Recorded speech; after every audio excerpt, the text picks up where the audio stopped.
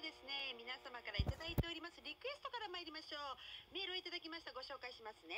愛知県は幸田町にお住まいのペンネームマナのばあちゃんからいただきました。マナは愛する菜っ葉の菜って書いて可愛いマナのばあちゃんです。リクエスト曲はハイファイセットさんの卒業写真をお願いいたします。この曲はあの頃に戻してくれる魔法の曲です。うん。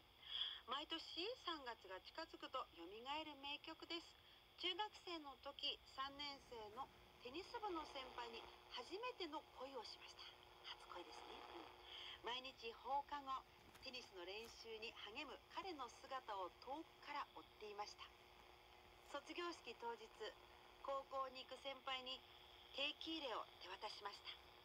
ドキドキして何を言ったのか自分の言葉も先輩の言葉も上の空でした先輩は学生服のボタンを引きちぎって笑いながら握手してくれました。